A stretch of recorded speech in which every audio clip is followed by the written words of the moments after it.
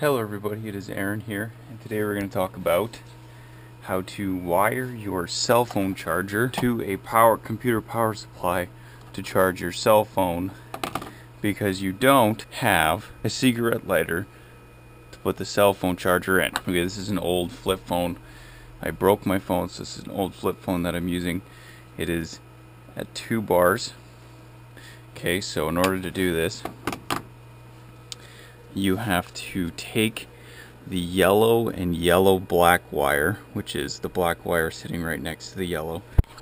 You've got to have an extension on those. Now this, uh, these two wires right here were meant for a fan. I clipped it, and you want to connect the yellow, which in this case translates to a red, because it comes off of the yellow as a red, to the front end, to the very tip, I should say, of your car cigarette lighter for your cell phone. The black portion goes to the side conductors, and then you have to ground out a wire to turn on the power supply. So, usually it's this green wire right there. Okay, so you want to connect the green wire to the black wire. I did it via paperclip so that it grounds it out. Now it could be another color on your power supply. It should say on the sticker on the side of it.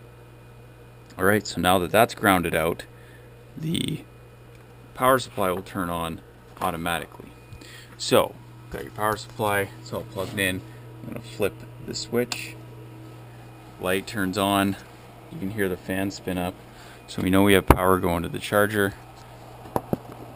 Plug the cell phone into it. And we are charging. So perfect. Alright guys, so if you lost your wall charger and you have a spare power supply kicking around, you can still charge your setup.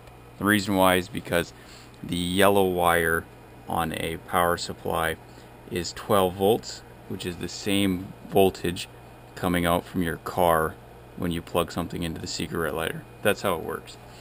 Alright, thanks for watching. You want to see other cool tech videos, head on over to my channel. I got some awesome stuff coming down the line, so stay tuned. See you next time.